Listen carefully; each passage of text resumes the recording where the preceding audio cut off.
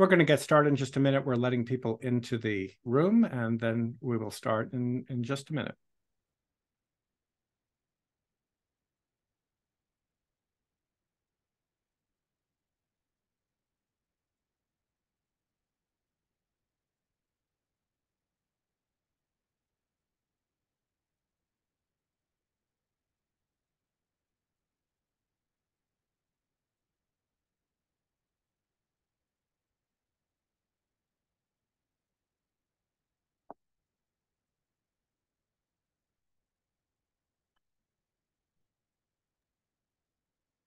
We're just going to wait just a few more seconds and then we'll get started.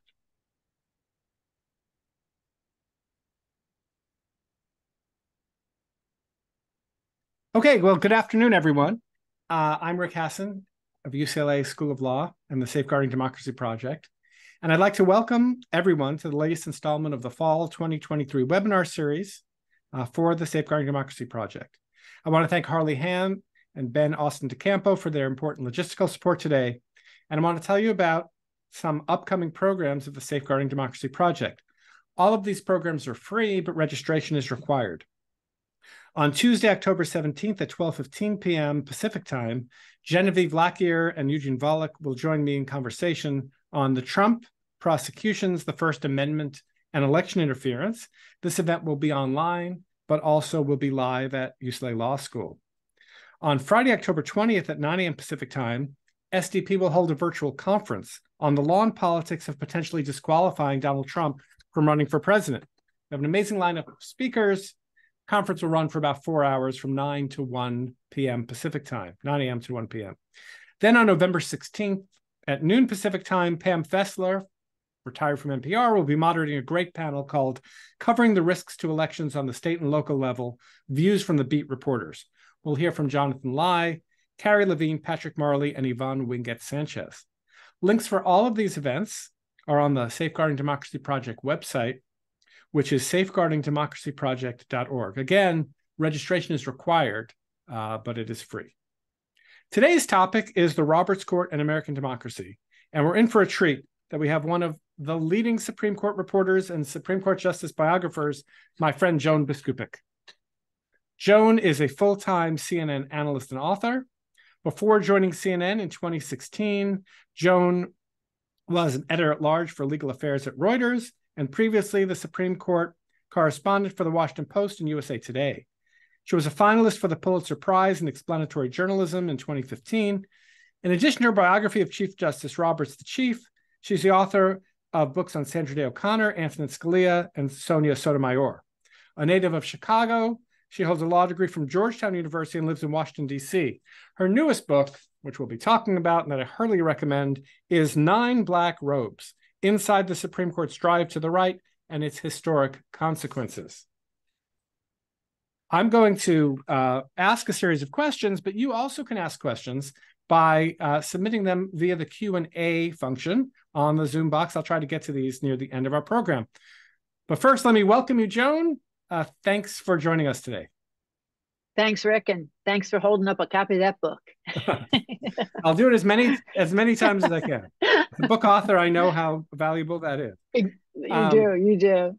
Um, so, I thought I would start since this is um, a uh, program of uh, the Safeguarding Democracy Project by asking you to talk a little bit about the relationship the, between the Supreme Court and democracy, in particular, its trajectory on issues related to voting rights. And we could talk about other issues like campaign finance and uh, other democracy related issues down the line, but the Supreme Court specifically on voting rights from the Shelby County versus Holder case in 2013 to what we saw last year in uh, Allen versus Milligan, uh, which seemed to be maybe some pulling back. So I thought maybe just big picture, 30,000 feet. Where's the Supreme Court on voting rights today? Sure. And I, I, think I'd even start with one that's uh, related to voting rights, but more directly onto partisan gerrymanders. And a scene that I will never forget came in June of 2019. And until very recently, it was the last time we had a dissent from the bench. Uh, as all of our audience knows, from June of 2019 until just uh, this uh, this year, uh, the the justices were not uh, reading portions of their opinion and dissents from the bench. So uh, the last one we had was Rucho, uh, the partisan gerrymandering case, and you know it's kind of adjacent to what you're talking about with with voting rights here, Rick. And it was a moment that I really felt this five to four court, and it was a five to four court then, uh, had really engaged the idea of democracy and what democracy needs. And, you know, after Chief Justice John Roberts unspooled his opinion saying federal courts are not going to entertain these partisan gerrymandering cases, you know, this is this is just left to states and the political process.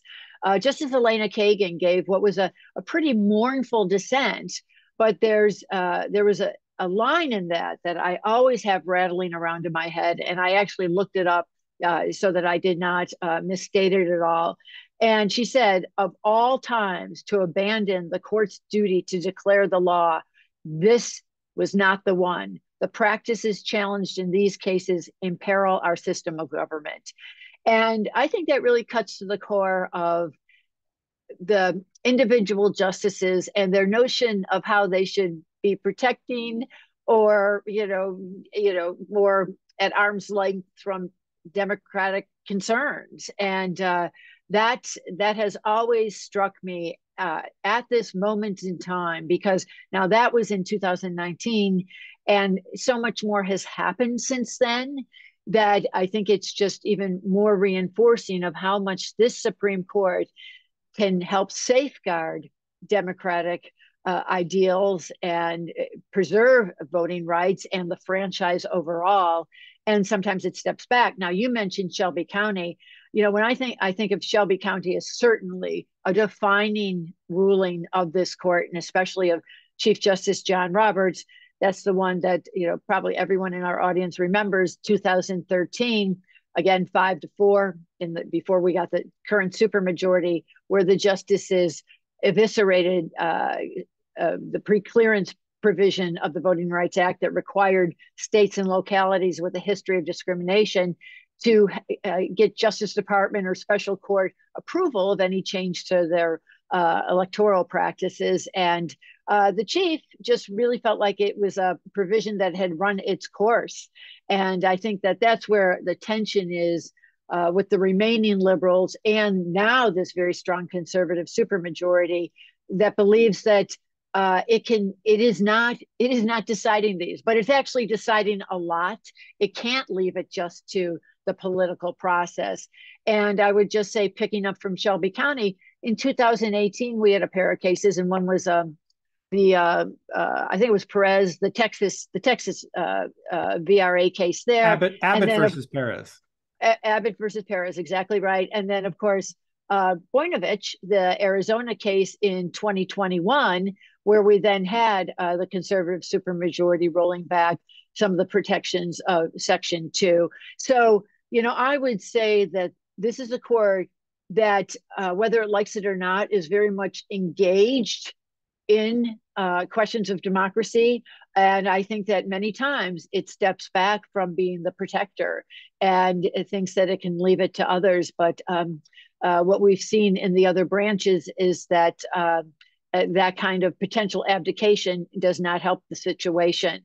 Uh, and we can talk about uh, Allen versus Milligan if you want to pick up from there or or anything else. The one other thing I would mention, I, I think it was great that you referred to um, Citizens United, but I'll give the court one thing, a plus thing, uh, in an area that some conservatives have really wanted to pull back, and that's on um, uh, free press. Uh, we've seen Justice Thomas really be vigorously trying to uh, reassess the protections of New York Times versus Sullivan.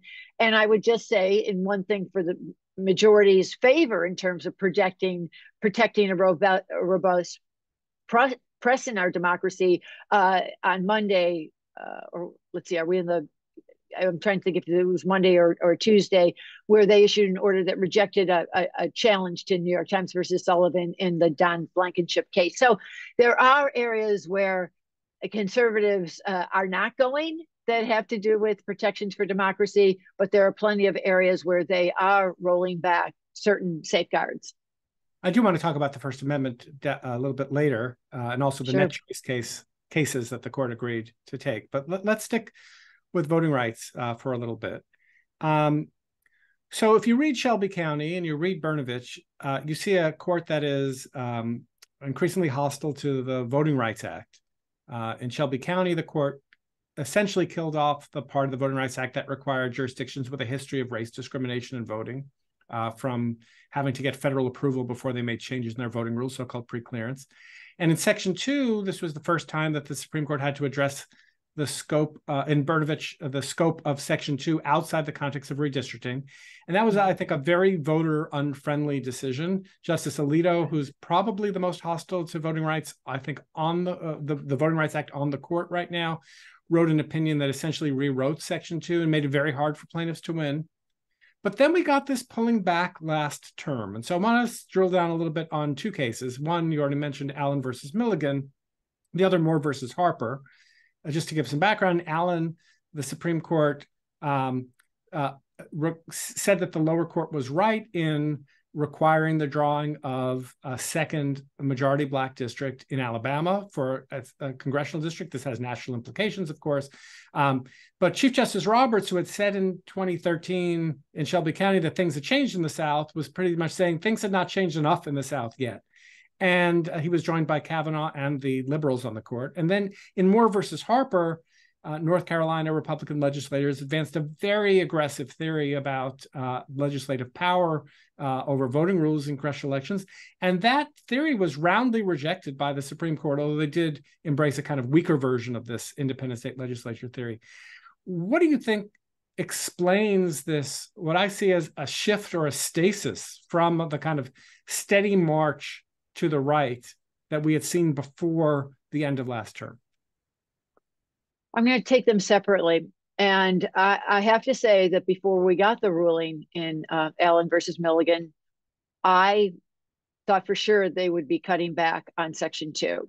And I knew, you know, the chief, just to remind folks, the chief did separate himself from his conservative brethren at the first, in the first chapter of that case by saying that he thought uh, that they shouldn't stay the map that had provided um, to black majority districts. He had felt that the, the three judge panel had done its work exactly right and that Alabama should not use the map for the uh, 2022 elections uh, with only one black majority district. So the chief had uh, showed some of his hand there, but he did say that he was quarreling with the test for Section 2 voter dilution cases.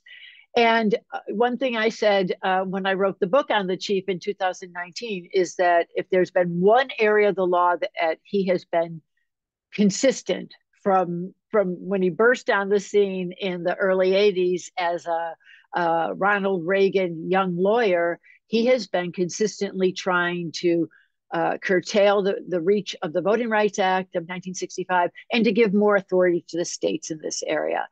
Um, so I did not expect such a robust ruling from him, but I think it's a one-off, and I'll tell you why. I, I think there were there were many factors that led to it. First of all, I would say Alabama. Alabama brought this on in a big way.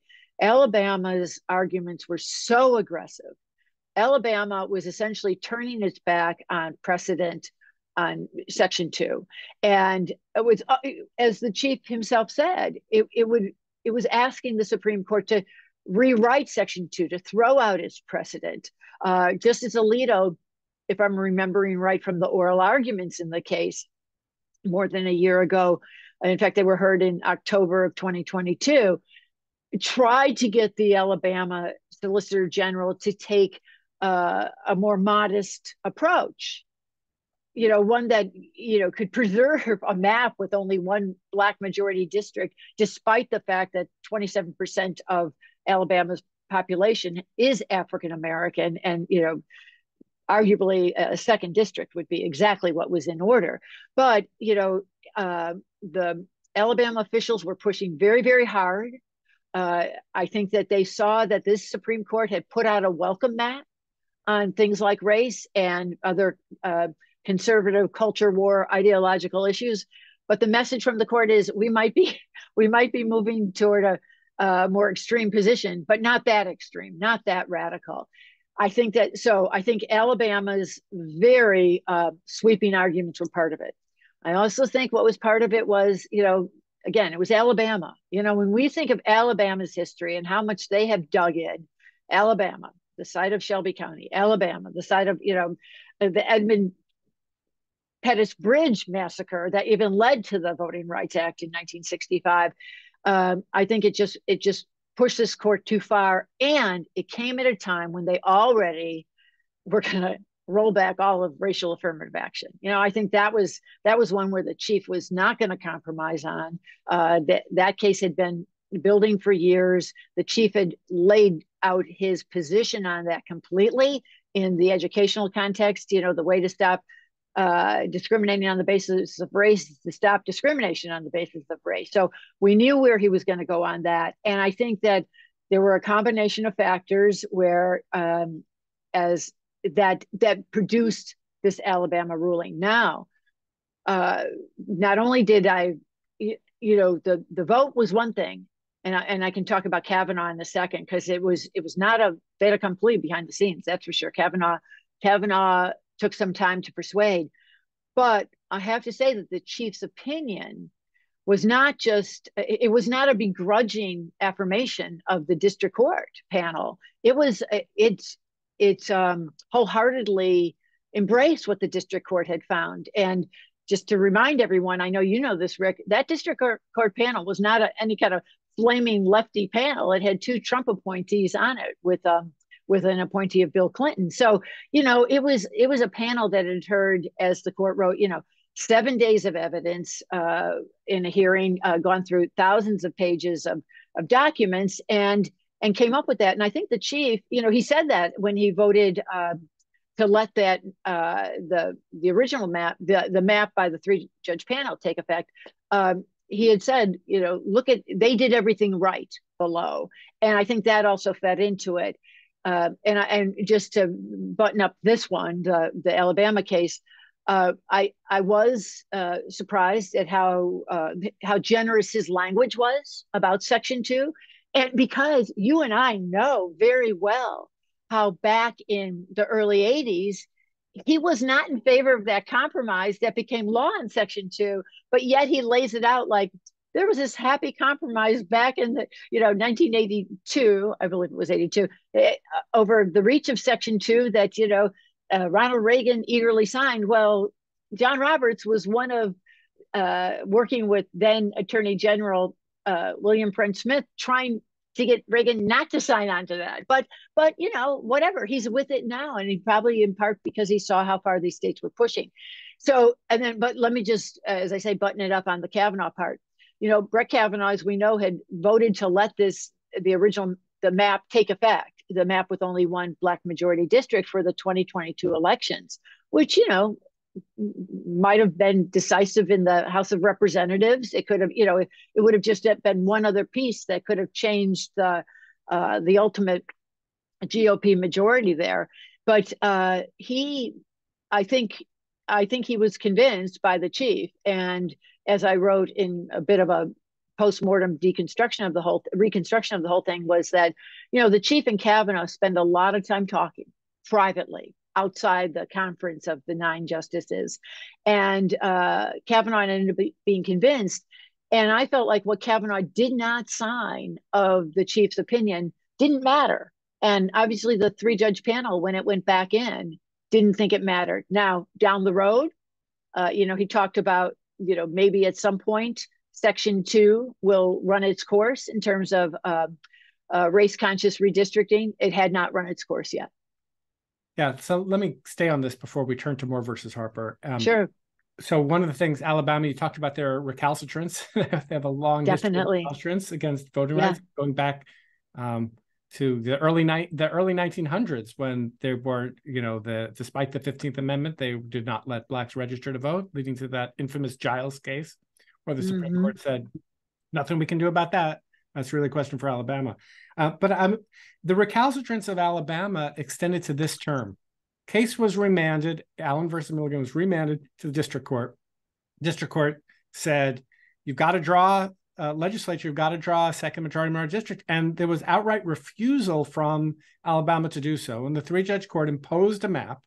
And then there were all of these rumors. Alabama goes to the Supreme Court on a, on the shadow docket, on the emergency docket, and says, you know, we want to get this stopped. We don't think your opinion, I think, which literally said you must draw a majority minority district or something very close to it. Yeah. Um, uh, we don't, you know, we don't think that your opinion required us to do that. And there were all of these rumors circulating in uh, the Alabama press and in some conservative press that they had info that Kavanaugh was interested in um, uh, in making a change. And uh, you know, my first instinct, and I told reporters this was, it's no way is this whatever Kavanaugh thinks about the Voting Rights Act that he's going to use this case where Alabama is being so uh, resistant to what the Supreme Court ordered to rethink uh, these issues down the line. I mean, do you think of Kavanaugh? And of course, that's what happened. The, the court, I think, with no dissents, just refuse, no noted dissents, refused to hear the Alabama case again. Do you think Kavanaugh is an institutionalist, and in, in that way, is he different from the other Trump appointed, appointed justices, Barrett and Gorsuch? It depends on the case. Because I had been doing at the time that Alabama was digging in in July and August was exactly when I was doing reporting on what had happened behind the scenes so they could understand what Kavanaugh did. And I I was convinced in talking to people who knew that Kavanaugh was not going to switch his vote. I was also aware of what was being reported in the local press. And it was because, I mean, those those local reporters had every reason in the world to speculate because you had the Solicitor General and the Attorney General suggesting to state legislators that they had some inside quote intelligence about what Kavanaugh would do.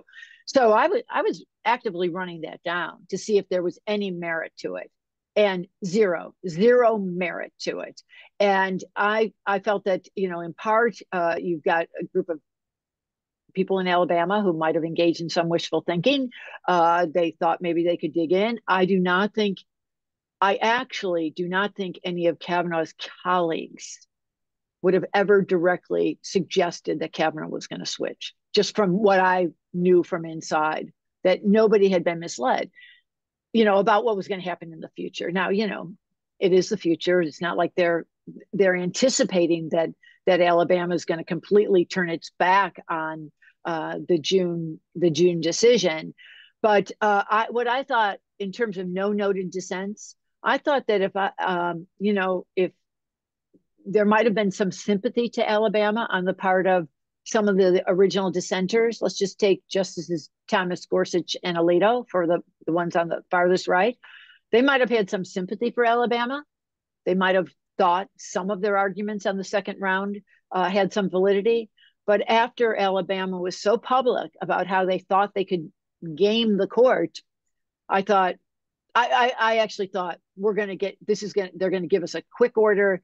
And why would anybody dissent to give Alabama anything? And that's how it played out. Yeah because one thing the justices can agree upon despite their divisions is that the they're they are supreme.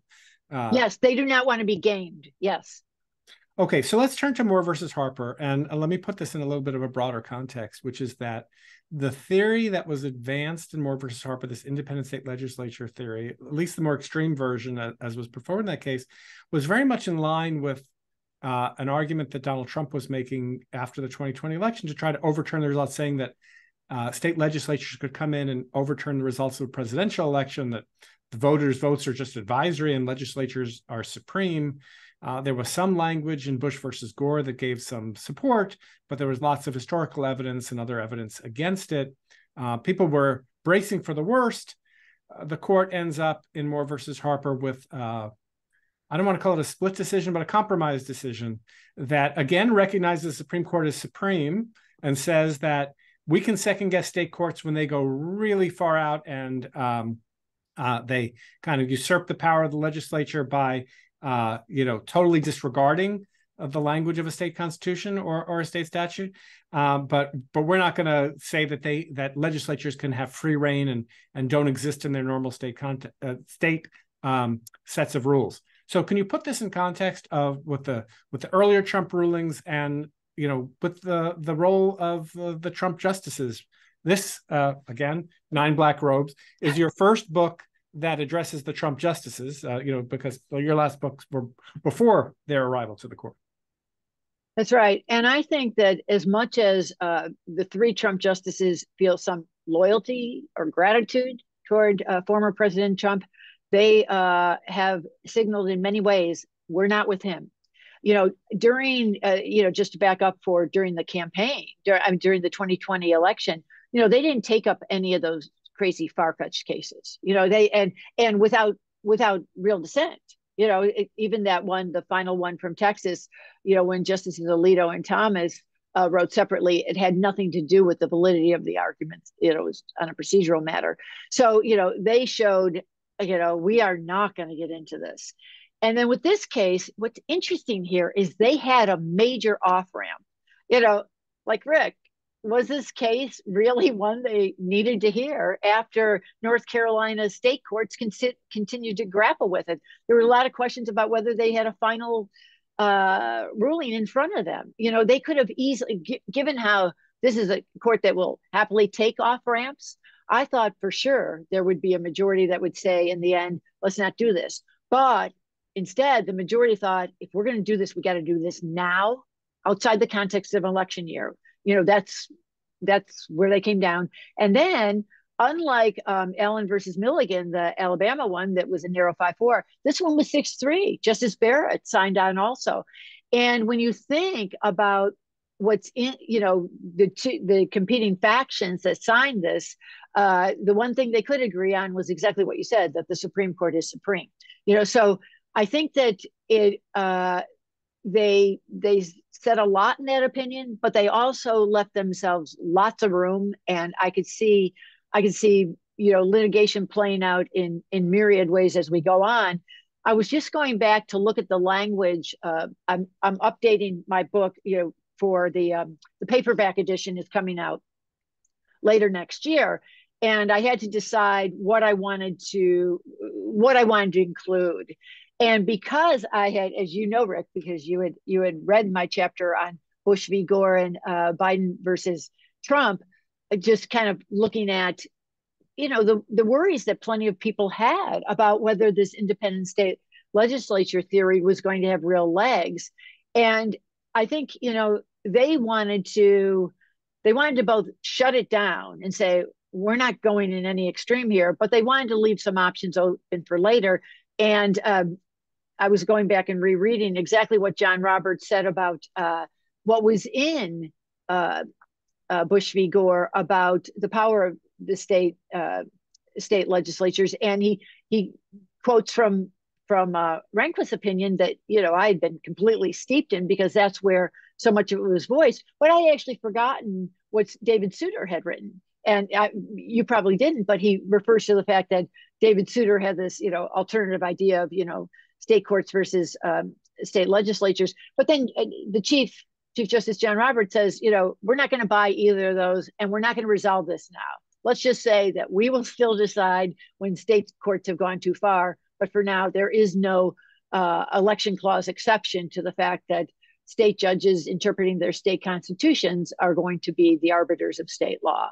So I think, and, and you know how he is with Marbury versus Madison. If there's a if there's any reason to quote Marbury Marbury versus Madison, the chief will take it.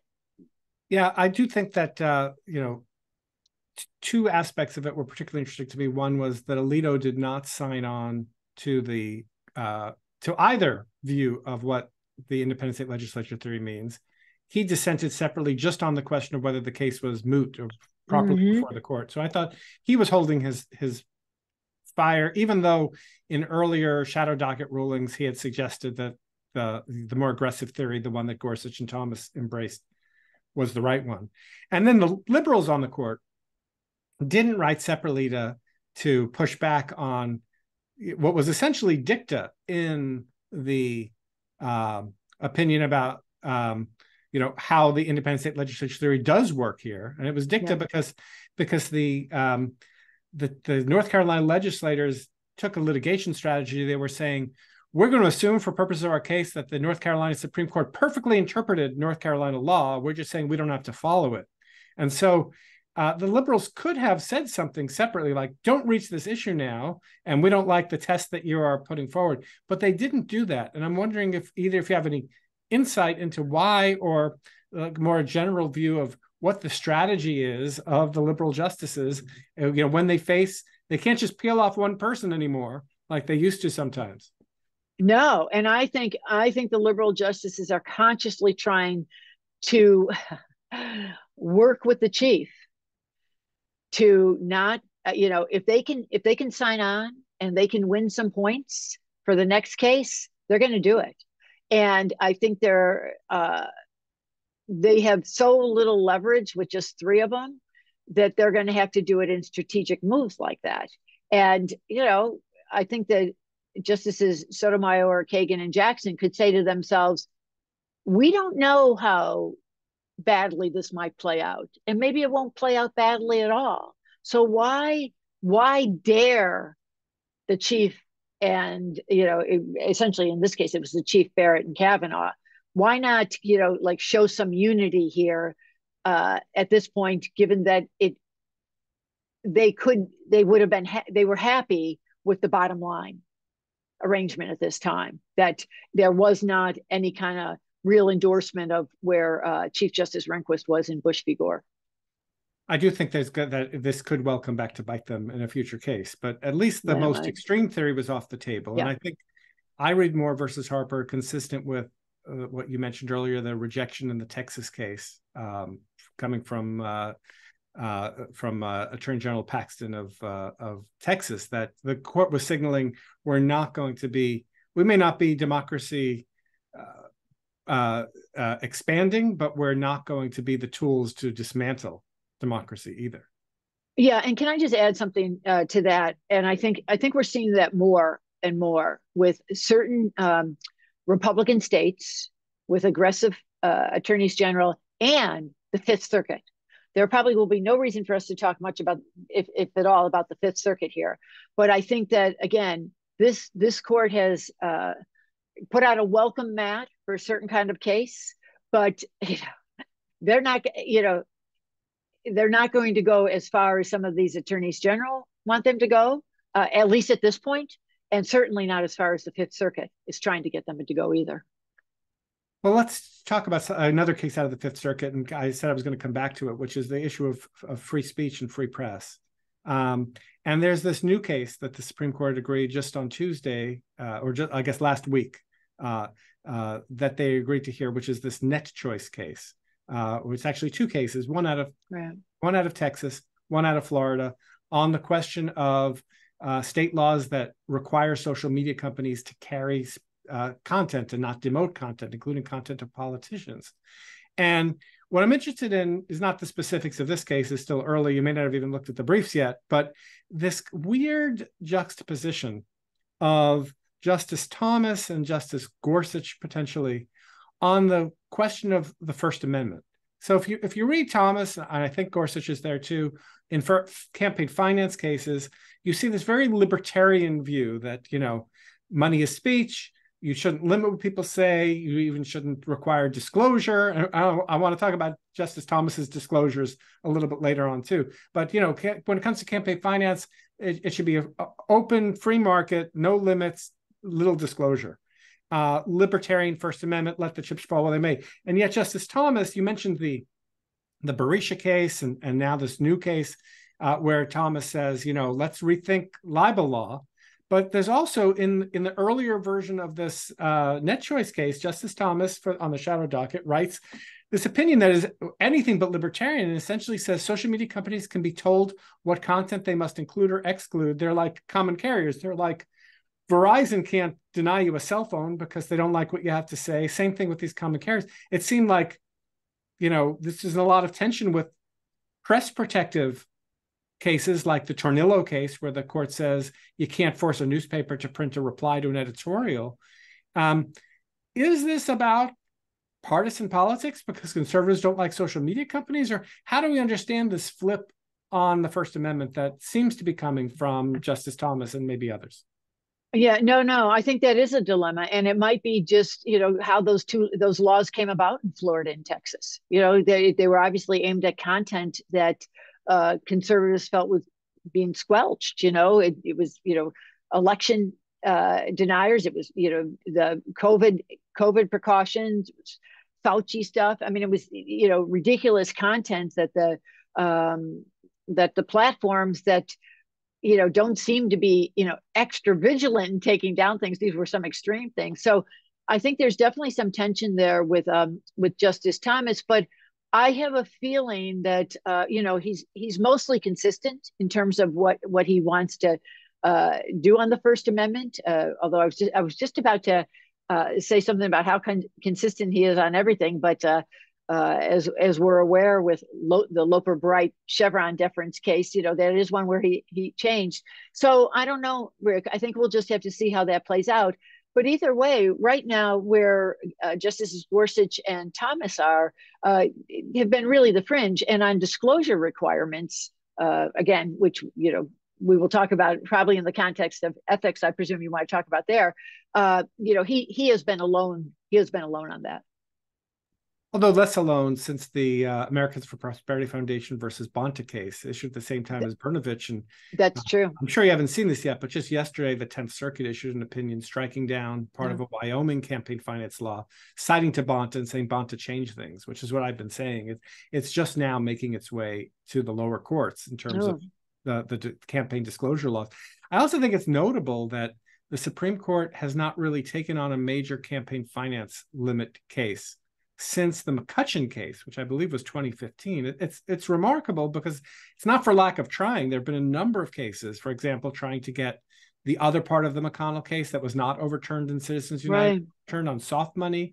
Um, what do you think explains the reluctance to go down that road? I mean, we could, if you, you know, if you took some of the theories that were advanced in Citizens United and McCutcheon, you could see a path to completely deregulating money in American politics. And yet, yet it's I mean it's it's pretty highly deregulated now given the loopholes, but it could just all be wiped out. And I, I'm wondering why you think the court's not taking more of these cases.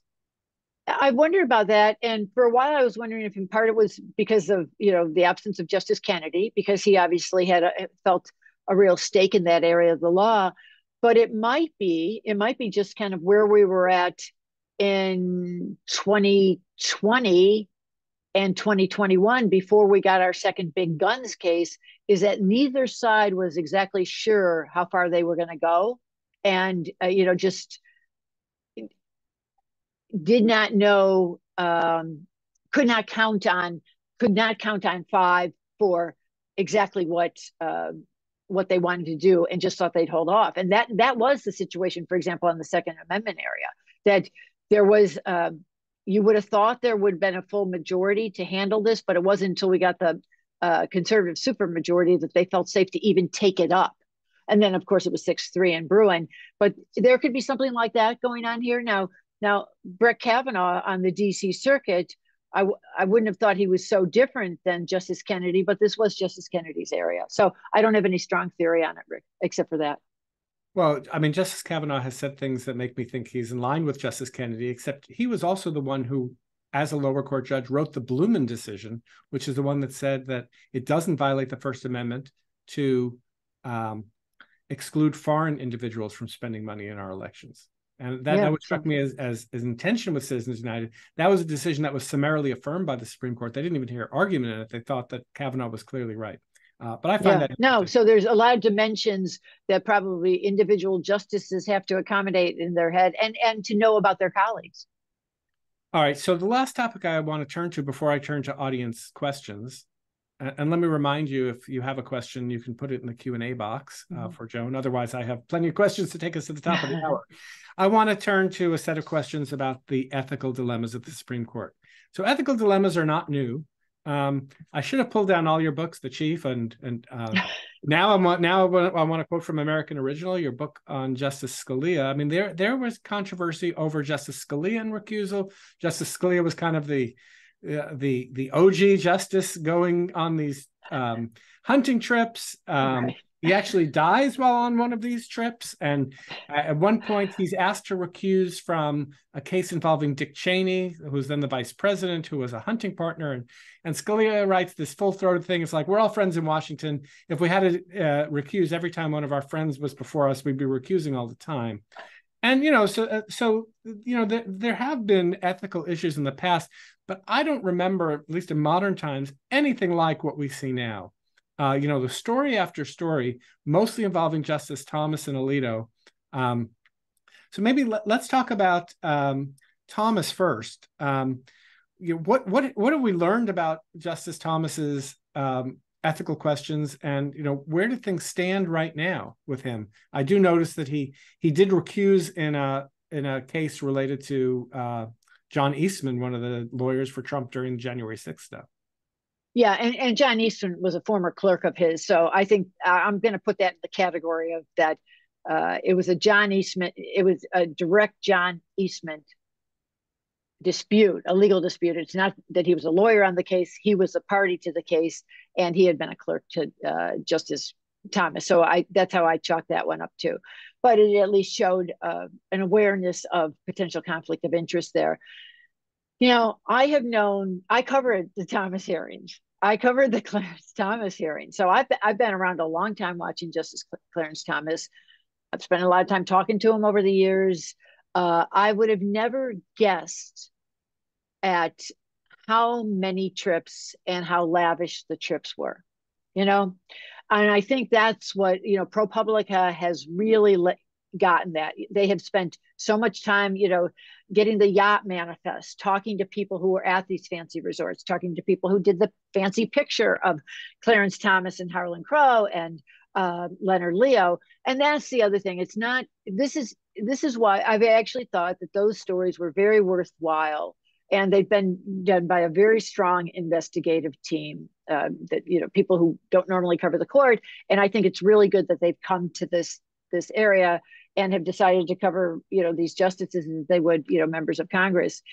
And because because it seems like you know in this case again it's you know a billionaire harlan crow who's who is you know invested in a lot of conservative causes.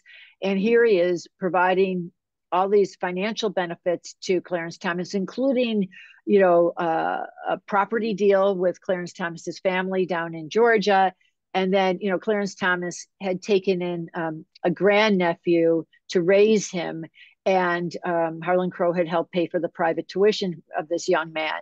And so there was you know all these benefits that uh, then uh, went unrecorded on his um, annual financial disclosure forms. So it you know it was surprising. Uh, justice thomas has since said you know he had said he said two different things uh, I, after the first reports, he said, I didn't think I needed to uh, report quote personal hospitality from a friend of mine. Uh, you know taking flying on the private jets going on these super yachts. But you know i guess you could argue on whether that needed to be reported. I, I think that probably some of it did need to be reported but also i just think it's the judgment call. Just you know be upfront about this. So he he has said um, he has said that for part of it. And then on some of the other reporting problems, he said through his lawyer most recently that any mistakes that were made were inadvertent. And again, that might be the case, but these these justices, the thing I always say whenever I talk about this on TV or write about it is, you know, they hold they control so much of our lives. There are just nine of them. They're the they are the end of the line for litigation. They control everything from you know like reproductive rights to you know how a business is going to fare and you know large questions of speech and freedom and you know you name it they are the final arbiters of it. And you know we want to have some you know this court is already at the lowest it's ever been since gallup and other pollsters have started have eh, started doing public approval ratings is at the lowest. And you know do some things to try to you know reinstill some confidence in, in what you do. So, what will they do? You know, the chief uh, has changed his mind on this whole formal ethics code thing. He used to be completely against it, thinking, you know, look, we follow we follow um, on our own voluntarily what lower court judges are bound by. You know, we are you know, we're ethical, we trust each other, we're not going to second guess each other. But I think he's come around now to the idea that they need to they need to uh, say something that's not just lip service about what they do, that they should do something formal. Now, I don't, you know, as it stands from my reporting, he doesn't have unanimity. I think he could get a majority, but probably enough of them think, oh, this will blow over. Uh, you know, I think the people who are the justices inside who are resisting it think, you know, this is going to blow over, or, or no matter what we do, it will not satisfy people. So why even do anything? So I think there's some real tension. We've seen Justices Kavanaugh and Kagan go public about you know how they hope something is done, but those are the only two who have been, who have been public about it. The chief uh, last May to the American Law Institute, I think that was the audience he was speaking to, you know, said that we are mindful of this and we want to restore some confidence, but um, uh, he wanted to say they were taking seri- taking it seriously. That, but that was May, and here we are in October. I, I, I think your point uh, uh, is especially well taken about how much power the court has, and yeah. I would add to that how unforgiving they are when uh, you know a a, know. a, a, you know a death penalty litigant is three days yeah. late. Uh, it's like sorry, got to follow the rules, and here it is. You know, uh, it's kind of oopsie. Uh, you'd think they that they would be getting advice if they're taking a trip around the world, or you know, taking tuition for their uh, relative, or engaged in a land sale uh, with uh, with someone that does not seem to be like an arm's length transaction. Um, so it's a little odd. Um, let's talk about Alito. And I don't know what you can tell me in terms of your reporting, but I'm more and more, my personal opinion, more and more believe that it was Alito that was the leaker of the early version, of the Dobbs opinion, because I just now see, I was just going back, I can't remember what I was researching, but for years, the Wall Street Journal editorial page has been channeling Justice Alito. And you know, like we think Justice Alito might think this, and and then of course in the last year, Alito, when he's facing these um, claims of you know his own failure to uh, disclose a, a, a fishing trip to Alaska, for example, he does interviews with the Wall Street Journal editorial page, uh, and they get transcribed. He, he even writes an op-ed directly trying to pre-butt the ProPublica thing.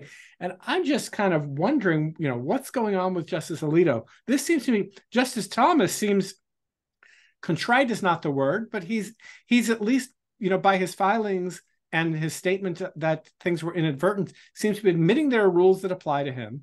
Uh, whereas Alito is saying, not only are there no rules, I don't think Congress even has the power to have rules uh, over me. So where do you put Alito in all of this? Well, I put Alito very much uh, with pals with the Wall Street Journal editorial page for many, many years.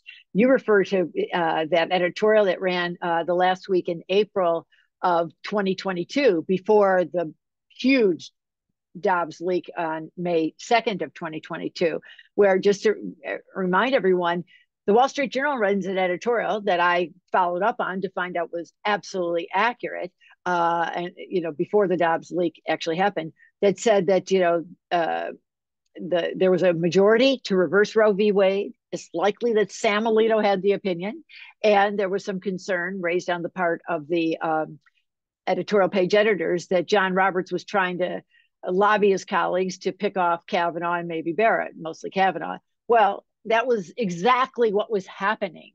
And I'm going to take you back even further to 20 20. No, it was late 2019, I think, when this report came out. Bostock. Do you remember what the Wall Street Journal wrote about Bostock? Same editorial page wrote saying it looks like. Um, oh yeah, it was. It was. it was so great. It was. Uh, it was sort of blaming Kagan for a new brand of textualism that could possibly woo um, Neil Gorsuch on uh, the Title VII question in Bostock. And, you know, again, just to remind folks, that was the question of whether um, uh, Title VII's prohibition on sex discrimination would extend to uh, sexual orientation and gender identity. Neil Gorsuch, in fact, and this was true also, in fact, and I, I reported this out extensively at the end of that term.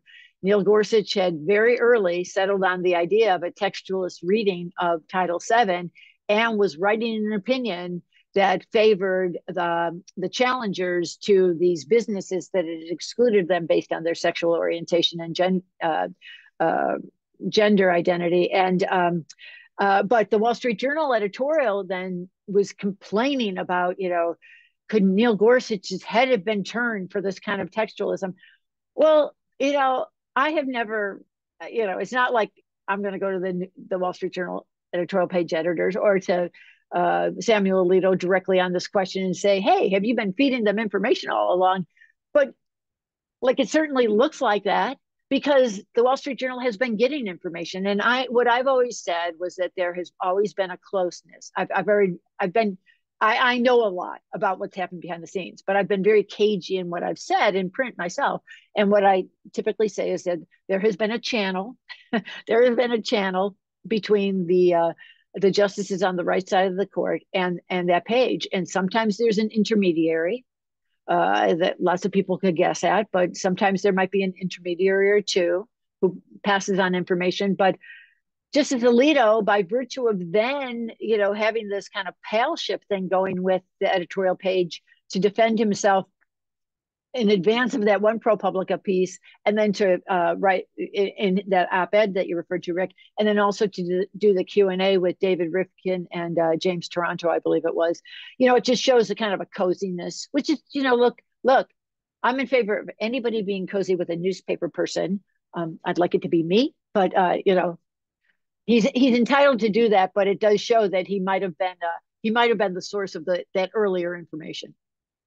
If he was, I mean, then the kind of statements he made after the Dobbs leak, uh, expressing outrage, would be all that more outrageous. Um, but of course, we, we you know we don't know until someone uh, breaks that story or until Josh Gerstein decides to tell us, which I don't expect to do. We're not going to know uh, the source of that uh, of that. No, no. All right, um, we're co- coming to the end. I want to ask you a, kind of a broader. We started with a global question about the sure. Supreme Court's democracy cases. I want to ask you a broader question about the Supreme Court's role in democracy. When you think about most of the hot button issues in American politics, say, let's put aside foreign policy, which uh, I think is somewhat different, but you think about guns, abortion, immigration, the power of the regulatory state we give so much power to these justices to decide these cases. And um, you say public opinion is cratering on the court. I'm, some of that, I think, is probably the ethical questions, but some of it is, I think, that some of these opinions are out of line with public opinion uh, on the merits. On the question of abortion rights, for example, um, Dobbs is not very popular. Uh, I don't think that the courts uh, expanding view of gun rights is very popular in a society where we have a major problem with uh, mass shootings. So, um, how much? So, here's the meta question How much do you think the court is, and how much should it be taking into account public opinion as it is, you know, serving as uh, what I think just Judge Learned Hand called a the mighty platonic guardians of American uh, of, of the American public. You know that these justices are we give them so much power uh, are they exercising it responsibly? You know, and I think their power has only grown for a couple different reasons. And uh, one would be that, you know, the political branches have not, uh, you know, notably Congress is not able to do really anything you know, right now. Obviously, it, definitely can't because it doesn't have a speaker. But uh, you know, it's when you know back in the day, Justice Scalia, who you and I both studied, used to say, "Well, if Congress doesn't like it, it can change it." Well, back in the day, Congress probably couldn't change it then. Um, you know, the last, you know, they did Lilly Ledbetter, you know, in what was two, what was it like 2007, eight, nine, right in there. They did, you know, a, a civil rights uh, set of amendments back in 91, 92. But, you know, Congress isn't, Congress usually isn't responding to the court. And right now it's so gridlocked it can't. So the court, the court's authority in um, our our system of government has has only grown just because of how polarized we are now, and some of the justices refer to that. Some of the justices refer to that, but I have to say they're the ones on the left. You know, I, I read in the beginning that that quote from Kagan in the partisan gerrymandering case, But then I was thinking also there was something that was really interesting in the courtroom uh, when the justices were reading their decisions in 303 Creative, the uh, the religious liberty LGBTQ case. And Justice Gorsuch had, you know, seen it completely through the lens of discrimination against this woman who wanted to do a, a wedding website and wanted to exclude same-sex couples. And then, you know, Justice Sotomayor starts reading her dissent from the bench about, you know, seeing this, you know, likening it to uh, actions in the 1960s that discriminated against people based on race. And one thing she said was, you know, when you think of what's going on in this day and age, how much discrimination we're now seeing, you know, kind of this reemergence against people, trans people, and just, eh, you know, LGBTQ folks in so many ways. You know, I don't know if she, she didn't say Florida. I don't know if she was thinking of Florida. I don't know what she was thinking, but she was, you know, taking account of the larger political cultural world that the Supreme Court fits into and what kind of signal it's sending. And, you know, to take us back to the very top and your very first reference to Shelby County, when Chief Justice John Roberts says things have changed, things have changed in the South, things have changed in America, he sends a signal and, you know, it, it becomes it becomes easy for the political players to pick up on that or or in the case of um, in situations involving discrimination, as Justice Sotomayor was talking about, this court sets a tone. It sets a tone whether it likes it or not. And I think that um, some justices are mindful of that role, and some would rather say, oh no, it's not us, even though it really is them. Oh. It, it wouldn't be a Zoom conversation unless someone forgot to unmute. So I say we'll, we'll, we'll have to leave it there. Um, uh, great conversation, and uh, if you want to know more with insights that you really will not find anywhere else, I, I can't recommend this enough. uh, I just reread it uh, in preparation for uh, our talk today, and uh, enjoyed going through it a second time. Nine Black Robes. this is how the really how the Trump justices and the supermajority of the Supreme Court has changed what the Supreme Court is doing. I urge you to pick it up. Uh, thanks so much, Joan, and hopefully we'll have you back again soon. Thanks, Rick. Best of luck to you. I enjoyed it. Take care, everyone. Bye bye.